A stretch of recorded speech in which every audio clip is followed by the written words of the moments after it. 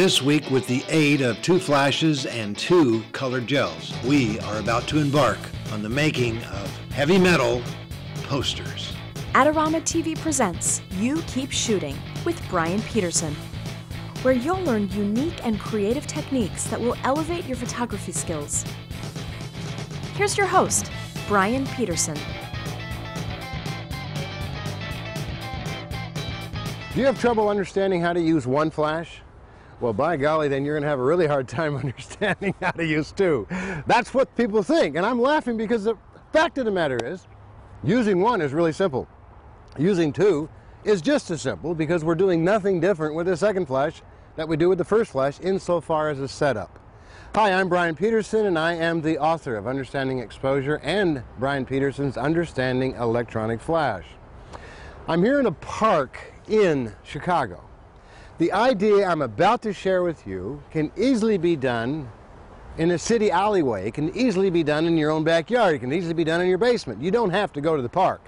I just happened to be at the park because I was here spending some time shooting some other ideas with Megan. Subsequently, the idea that I'm going to share with you does involve the use of two flashes and does involve the use of colored gels. Now we're going to create a little idea here that Megan is a rising metal rock star. She's a heck of a guitar player. She's the lead singer of her metal band. So we need to come up with a CD cover for her metal band. So I proposed to Megan that we do a crazed portrait. Well, it's also, we have here in Chicago, as is true in most major cities, a stage play produced by a group called the Blue Man Group. And so the idea was born, hey, what if we do a blue man face, in this case a blue woman face, and fiery red devil hair. Subsequently, I'm going to use two flashes. I've got one flash behind Megan with a red gel. I've got a flash in front of Megan with a blue gel. Now let's set the stage. This is 100% lit by flash.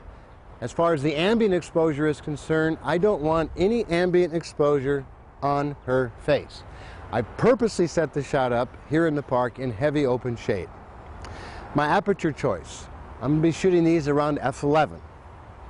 I want critical sharpness. Therefore, I'm using what I call the middle of the road apertures, f8, 9, 10, or 11. And at f11, when I meter off of her face without benefit of any flash, I just take a meter reading. It says take this picture at f11 at a 15th of a second with 200 ISO. Therefore, if I don't shoot f11 at a 15th, but instead shoot f11 at a 200th of a second, simple math tells us that she would, without benefit of any other light source, be severely underexposed.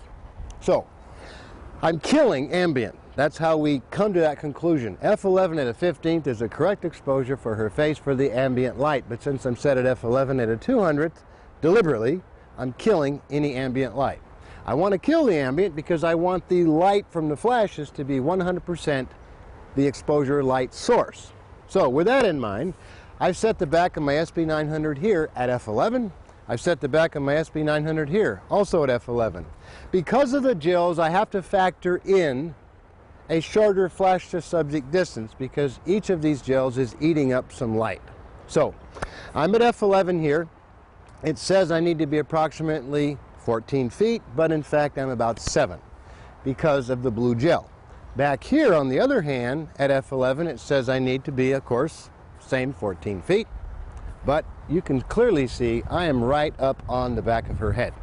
Why? Because I want that red flash to be way hot, overexposed, flaming red hair. So we are at F11, 200th of a second, blue flash on her face, red flash, back of her hair. She's going to go down with her head. She's going to come back up. Are you ready, Megan? I am ready to go. And one, two, go. Take a look at that. I have asked her to have this very shocked, surprised expression. I've also taken another shot earlier where I had her be an angry metal rocker. Take a look at both side by side. Regardless of which one you like in terms of her expression, more importantly, it's the flash effect that we're going after here.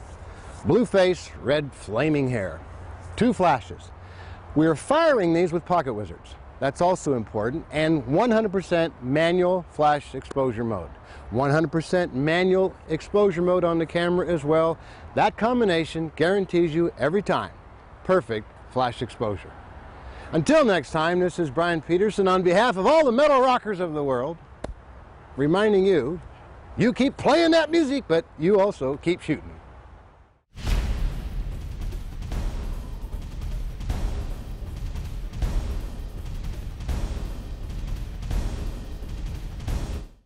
Adorama TV is brought to you by Adorama, your best source for the equipment and knowledge you need.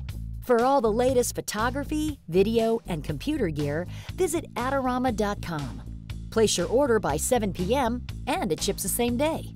Plus, the next time you're in New York City, be sure to visit our store located on 18th Street between 5th and 6th Avenue. Check out the Adorama Rental Company for professional cameras, lighting, computers, and more. We'll help you make the best selection to match your needs while giving you the knowledge to achieve the best outcome from your rental. Adorama is your complete solution for equipment, printing, training, and more. Adorama, more than a camera store.